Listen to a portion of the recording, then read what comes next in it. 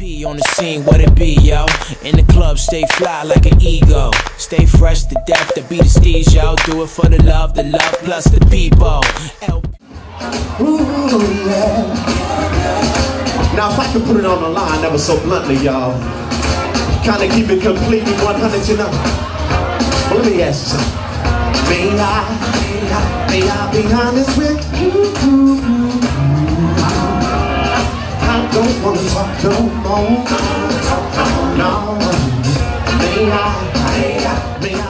Hey, this is Network Queen LP on the scene, and I have the singer, writer, the most talented Noel Gourdin here with me. We are at the Brick House in Arlington. How are you doing, Noel? I'm doing great, and feeling blessed, highly favored.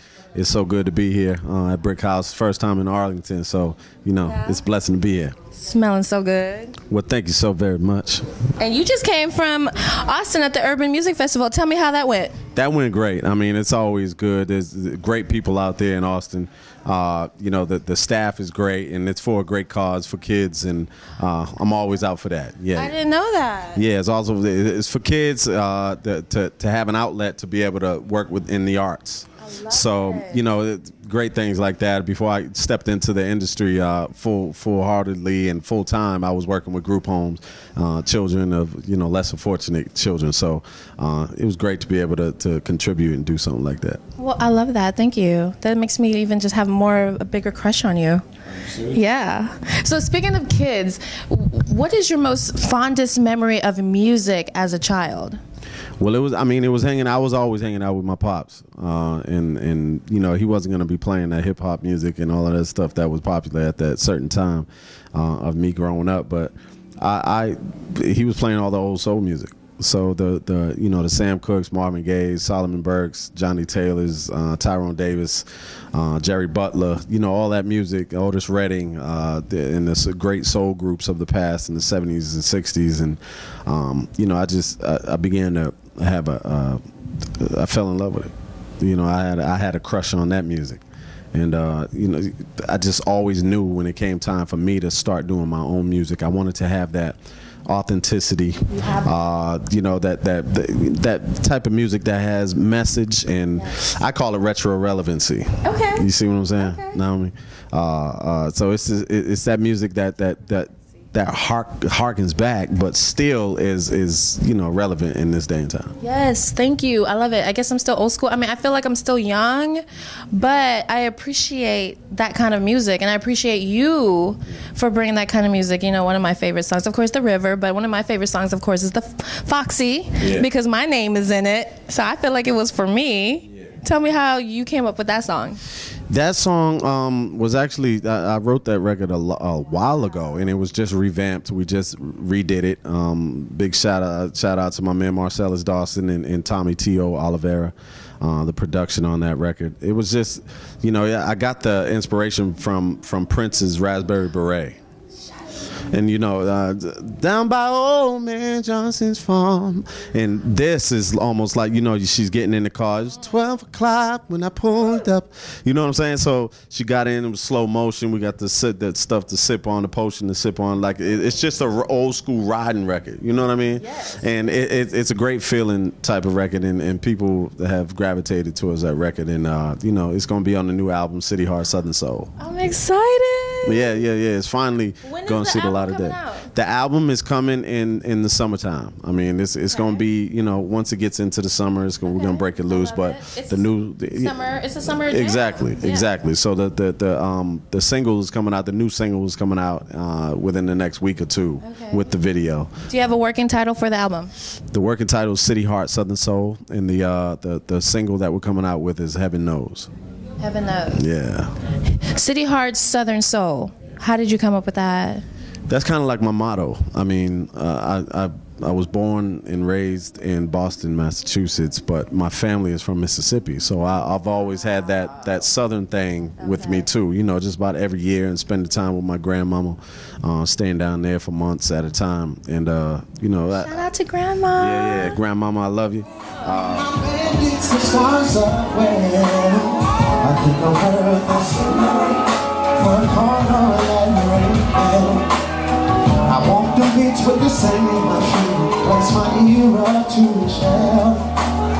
I wonder if you miss me too. Cause been longing to get to you. Like singing staring out my window sill. I'm tired of hoping she remembers me still. I'm packing my bags. So let me ask you this. You know, I just recently started following you on Twitter. Do you actually do your tweets or do you have someone else do your tweets? No, that's me. That's all me. All right. Well, let me let you guys know that he's following me, I'm following him, and he gave me a shout out. So y'all need to follow him on Twitter because he will actually follow you and talk to you on Twitter, right? Yeah, absolutely. It's me. I take pride in that. I mean, I, I don't call them fans. I call them supporters. So uh, I'm I'm always up to, to you know conversating and, and tweeting and, and uh, just just talking with my with my folks with my supporters. So that's what it's all about. All right. I love it. And all you guys have to do is just Google his name and you'll find all of that, right? Facebook, Twitter. Yes, yes. Noel Gourdin, N O E L G O U R D I N. That's on Facebook and Twitter. Um, hit me up.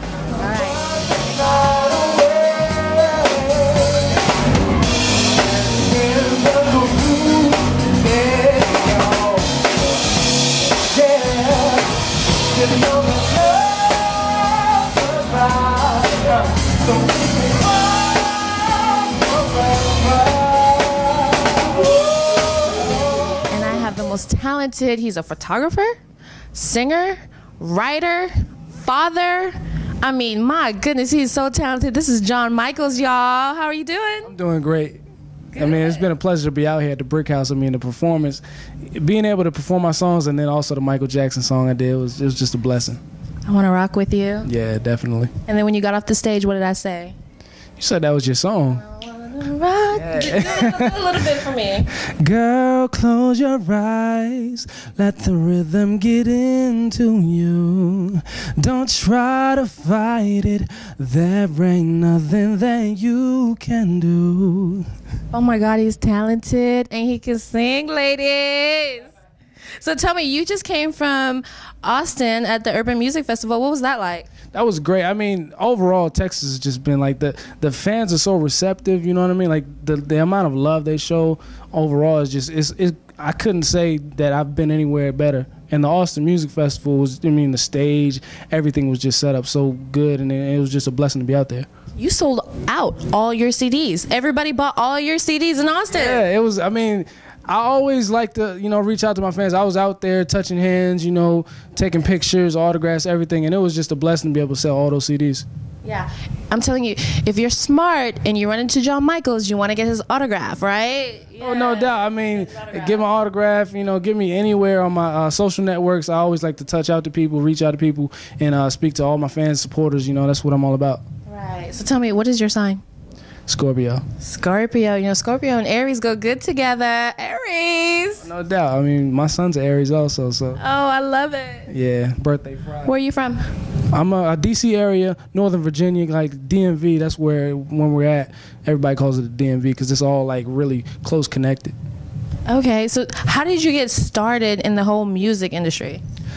You know, I started off actually making beats. Okay. I used to produce, and um, I did like a Dru Hill cover of April Showers, and I recorded it. Like I, I went home, downloaded the programs, recorded, and I showed everybody at school, and they're like, "Man, you should start singing."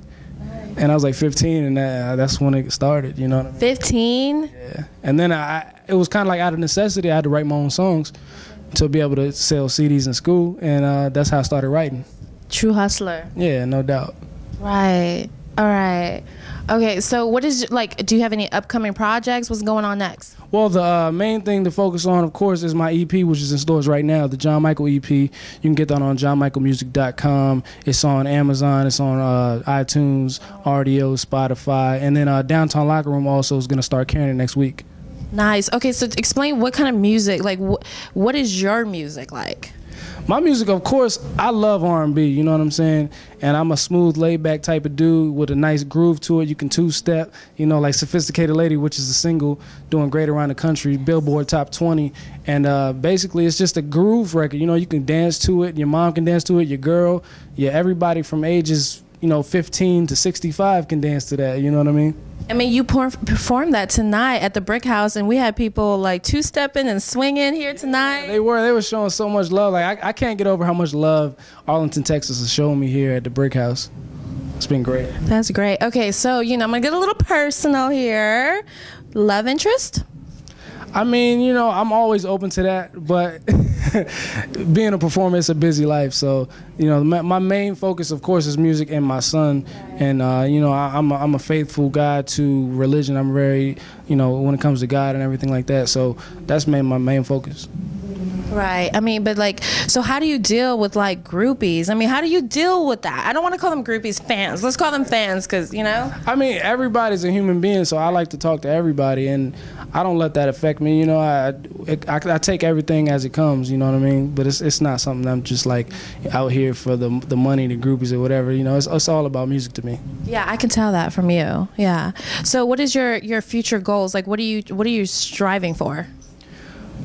To be honest, I mean, my aspirations are always to be number one. I want to be the best. I want to be somebody that you see and be like in awe of, and not to be, you know, to sound cocky or anything. That's just my goal. You know what I mean? I want to be when it comes to songwriting, when it comes to being a performer. I, I strive to be the best that I can possibly be. All right, and I heard like sophisticated sophisticated lady is top twenty on Billboard. Yeah. How do you feel about that? It's. I mean, I, I don't want to keep saying it's a blessing, but it is a blessing. You know what I mean? And and coming from where I come from, where you know I have a long history of just recording. I you know I, I operate my own studio. I do a lot of mixing myself, and it's it's just just like it's like a child when when you make a song and you're just proud of it. You know. I'm just proud of the fact that people enjoy my music, and I'm glad that I have the opportunity to to push my music out to the world. Okay, so one more question: What is your most memorable? fondest moment of music as a childhood like your favorite childhood i could tell you mine mine was when my mother used to go get ready for disco and she used to play Klymaxx and Lisa Lisa and Cult Jam. And so now to this day, like I love them. So what is your most memorable moment with music as a child?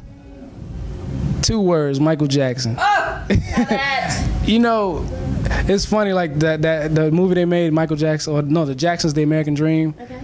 I used to watch that movie every day because we didn't have cable and we had it taped, and I would watch. But it was eight of y'all, right? Yeah, it was. Wow. And then at one point, my mom and dad they got rid of cable, they got rid of TVs, and then my brothers to entertain the family, they would say, um, "John, do the moonwalk or whatever," and that's like what I would do big families are good. Old school is good. I love it. Yeah, I'm the middle kid, so I mean, I, I, had to. I got beat up. I had to entertain. I had to learn how to make grilled cheese sandwiches, everything. yeah, I saw some of you. You can cook too. Yeah, I mean, I, it's fun. I mean, I have a cousin, an uncle. They're like actually executive chefs, so it kind of runs in the family. Well, you guys check out John Michaels. All you got to do is just Google him, and you'll find what your Twitter, Instagram. Yeah, my Twitter is uh, for John Michael. That's the number four, then John Michael. My Facebook is official John Michael. My Instagram is also official John Michael, and my website once again is johnmichaelmusic.com.